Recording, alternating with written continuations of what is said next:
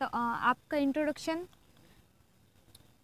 મારું નામ કેશુભાઈ વરુ હું આમ તો નિવૃત્ત હાઈસ્કૂલના આચાર્ય છું પણ ઘણા વર્ષોથી અહીંયા ગરબીનું સંચાલન કરું છું અહીંયા આ જગ્યા એટલે ઉનાની તુલસીધામ સોસાયટી તરીકે ઓળખાય છે તુલસીધામ સોસાયટી એટલે અહીંયા વર્ષો પહેલાં લગભગ એટી ફાઈવ યર आसपास नियर मुरारी बापू सप्ताह करेगा।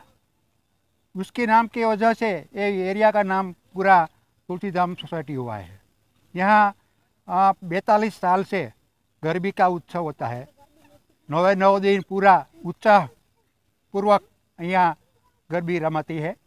और इस गरबी की खासियत यह है कि ये गरबी में सिर्फ़ ने सिर्फ़ गुजराती लैंग्वेज ही अलाउ है not English and Hindi only for Gujarati garba ये हमारी गरबे की वो खासियत है मैं मितेश सोरठिया। अ, आपकी यहाँ पर गरबी कितने सालों से हो रही है?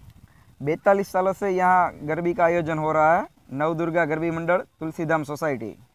और यहाँ पर सेफ्टी और सिक्योरिटी की क्या सुविधाएँ है? यहाँ चारों जगह सेफ्टी की पूरी व्यवस्था की गई है।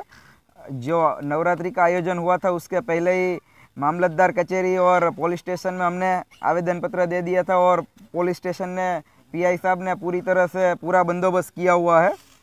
पूरी तरह की सेफ्टी के साथ यह नवरात्रि खेली जा रही है। जी, बिल्कुल। और यहाँ पर जैसे कि हम देख सकते हैं कि पूरा आप सोसाइटी में ही डांडिया गरबा करते हो तो यहाँ पे ऊना से बाहर के भी लोग आते हैं या सिर्फ़ सोसाइटी मेंबर्स ही खेलते हैं? ना पूरा ऊना तालुका के लोग यहाँ पे आते हैं। आपका परिचय दीजिए। मैं दीपक सोलंकी सोसाइटी का उप प्रमुख हूँ। और अ, हम यहाँ वैसे तो 40 सालों से यहाँ नवरात्र का आयोजन हो रहा है। और अ, हम नई कमेटी में हैं और नई कमेटी हमारी अ, 2022 से हमने की है और उसमें हमारे सारे मेंबर्स नए हैं और जो पुराने मेंबर थे वो भी मतलब हमारे साथ ही है और अच्छे से हम सब जुल मिल के हम काम करते हैं और अच्छे से आयोजन करते हैं। तो आपके यहाँ पर देर रात तक कितने बजे तक गरबा खेलते हो?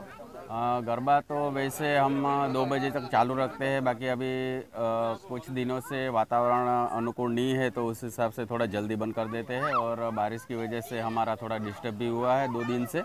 जी। और फिर वैसे तो हमें दो बजे तक हम गरबा चालू रखते हैं। तो अ, जैसे कि लेट नाइट तक गरबा चालू रहता है तो लड़कियों के लिए सिक्योरिटी की कुछ व्यवस्था हाँ है सिक्योरिटी है वैसे हमारे पुलिस में भी जान की हुई है वहाँ से सिक्योरिटी भी आती है हमें प्रोवाइड करती है वहाँ। पुलिस ऊना पुलिस ने हमें जान की है तो वैसे ऊना पुलिस यहाँ कंटिन्यूज हाजिर रहती है। जी और जैसे कि माना गर, गरबा खेलते खेलते किसी को कुछ हानि हो गई तो उसके लिए आपने कोई बंदोबस्त करके हाँ रखा है? बंदोबस्त है। वैसे यहाँ हमारे सोसाइटी में एंबुलेंस है और सोसाइटी की एंबुलेंस हमारी यहाँ चौबीस घंटे यहीं रहती है और सारी व्यवस्था मतलब हमने यहाँ की हुई है। और यहाँ पे जैसे छोटे छोटे बच्चे भी दिख रहे हैं तो वो सब खेलने आते तो उनके लिए नाश्ते का कोई आयोजन किया है आपने? बिल्कुल।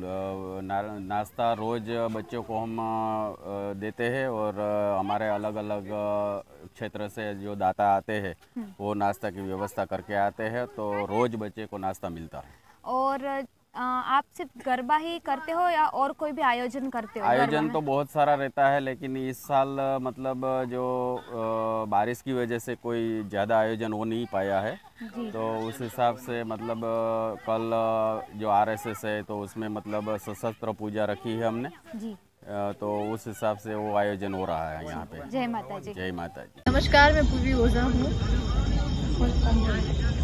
तो आप आप गरबा के बारे में कुछ बताइए। आप कितने साल से यहाँ पे गरबा खेल रहे हो? मैं पिछले सात आठ साल से यहाँ पे गरबा खेलती हूँ। और मुझे यहाँ पे बहुत मज़ा आ रहा है और यहाँ की सिक्योरिटी सेफ्टी सब कुछ बहुत ही अच्छा है। और लड़कियों की सेफ्टी बहुत अच्छी है यहाँ पर। तो हाँ मज़ा आता है मुझे। अच्छा और आपको कैसा लगता है इधर? आपके फ्रेंड्स वगैरह कोई आते होंगे ना खेलने? हाँ, बहुत सारे हैं। हम लोग बहुत अच्छा ग्रुप में गरबा खेलते हैं। और हर साल हम लोग इतनी एक्साइटमेंट से खेलते हैं क्योंकि मेरा फेवरेट है गरबा नवरात्रि। सो हाँ।